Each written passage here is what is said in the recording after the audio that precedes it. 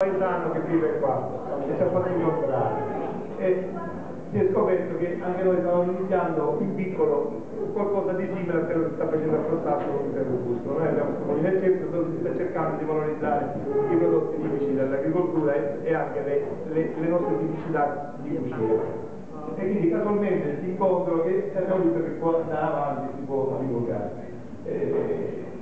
È eccezionale perché si va dalle piccole cose che si può nascere anche a grandi cose. Noi dobbiamo valorizzare i nostri prodotti, eh, dicevo poco fa, eh, spesso non, non, sono molto conosciuti, spesso no, i molti servono pure per, per conoscersi da di noi.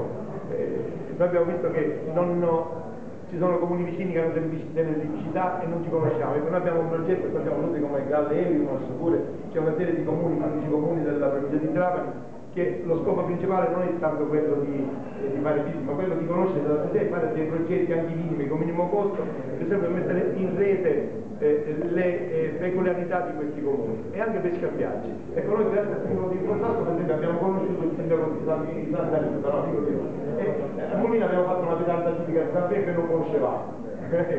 Anche qua ho scoperto che alcuni di, eh, di Torino non conoscono l'esistenza del museo del pubblico, capita molto, faccio un esempio stasera e quindi questi interscambi sono fondamentali. Vedo che a livello mondiale c'è questo interesse di valorizzazione dei beni immateriali. C'è l'ONU che già dieci anni fa ha iniziato una eh, catalogazione attraverso l'UNESCO e quindi col protocollo dell'UNESCO di questi beni immateriali che sono sia possono essere beni artigianali ma possono essere anche i beni della, eh, eh, dovuti alla cucina, alle, alle piatti tradizionali. Finisco con una battuta. Un buon piatto, che può essere la cassata siciliana o un piatto vostro, equivale a una cattedrale. Per loro equivale a una cattedrale. L'un e l'altro sono beni dell'umanità, quindi godiamoci questi piatti eccezionali.